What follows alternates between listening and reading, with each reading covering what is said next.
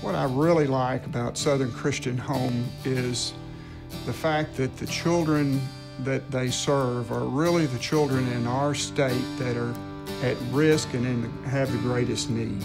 It's home. It is a home. I think they feel safe here, they know they're loved here, and they make good memories here. I think at times um, the days go by and you lay your head on your pillow and you don't know what you've accomplished, but here you made an impact in someone's life. We try really hard to give these kids every opportunity to succeed because they do come from places that um, they're broken and they don't have anyone in their corner. Many times the children who come here have absolutely no reason to trust any adult. The adults in their lives have been a disappointment. Southern Christian Home is a place where kids can come and be loved and shown grace and mercy and the love of Christ. When that child learns through house parents who consistently love them and consistently teach them, and they learn they can trust them, then the home has given that child a tool that will uh, benefit them for a lifetime. We're there to be a friend and a mentor and a Christian example to our kids to help them to grow to who they need to be. I used to substitute teach at a high school, and so, you know, you work with kids on a daily basis and you try to help them grow academically, but it's so much more here. You know, you're, you're addressing um, and connecting with their needs on a much deeper level. They get good meals. The house moms are reading them bedtime stories at night before they put them to bed. The home uh, provides social services for them. There's counseling that's provided. Tutoring is available. Uh, mental health services, if that's necessary, is available. So there's another set, whole set of resources that the home provides.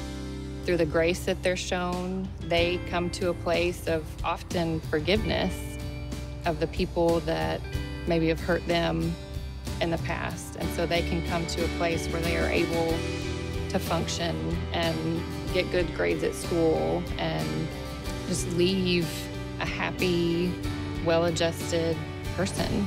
So when, it, when you show the love and respect to our kids and they start trusting people, that's what it's all about. Trust is a big issue in it. Yeah. Has that helped you develop trust with people by working with horses? It has. Think more about that. Um, when I first came here, I didn't feel like I could trust anyone. Okay.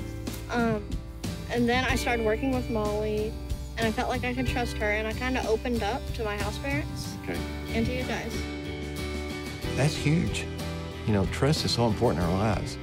And, um, and it just made me feel great that our team had, had accomplished that. This work has been built on the efforts of generations of people. And the home has served the lives of children well throughout many years. Now it's time. It's time to provide for the future. The homes that the children live in are old, and they need to be replaced. And so now is our opportunity to replace them with modern, well-designed facilities that will truly meet the needs of our current generation of children. The new cottages, we're gonna have a lot more space, and to, to be able to have that space that they can retreat to for a little bit, kind of regroup, and then be able to come back out refreshed, if you will, will be a huge improvement. These kids in these new homes will have their own private bedrooms, their own bathrooms.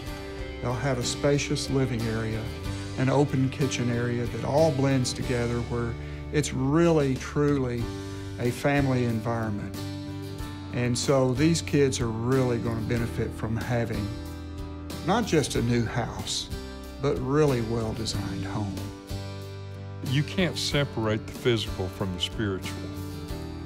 And so uh, while we want them uh, to be like Christ, we want them to be like Christ and also be people who can live very happily and successfully in the world.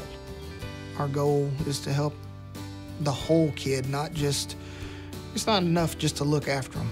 You know, we want to help them and, and help them grow in every way possible. It's just great to see young people who don't even believe in God. And when they, uh, before they leave, the, to respond to Christ Jesus. It's heartwarming. It really is. You see the difference that love and that Christ can make in the lives of the children. You know, they need someone to protect them and someone to care for them and someone to, to love them. And to be able to do that, I can't imagine there being anything more rewarding. I'm here because I think this is what God would want me to do. When you see them happy and smiling, that means we're doing something right. By people investing in us, they can come and see, you know, how much difference they're making in the kids' lives. I believe that if people understand, they can use their resources and their resources will be multiplied far beyond their imagination because God sees this as a need. And if that's a priority with Him, then it needs to be a priority with me. Who more than a child who comes out of an abusive relationship deserves a place that will help them truly get back on their feet? This is what we do. This is the opportunity that we have to provide this kind of facility and to provide this kind of environment that changes lives.